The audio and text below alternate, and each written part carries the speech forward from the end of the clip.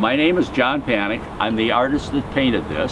I'm from Shinnston, West Virginia, and I was originally born in Chicago. Uh, went to art school in the Chicago area, and uh, I was involved in printing for 30 years. So I was able to use my artistry in the printing world. And after I retired from that, I went into uh, motorcycle art basically. I really enjoy painting the old motorcycles. I, I was involved in, in motorcycle riding and racing back in the 50s and 60s.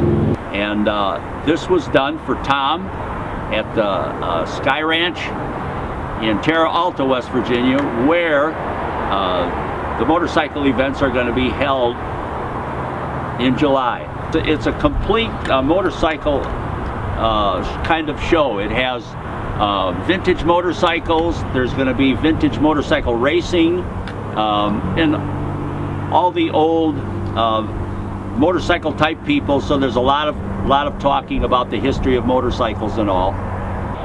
This painting, an oil painting, it was a collaboration.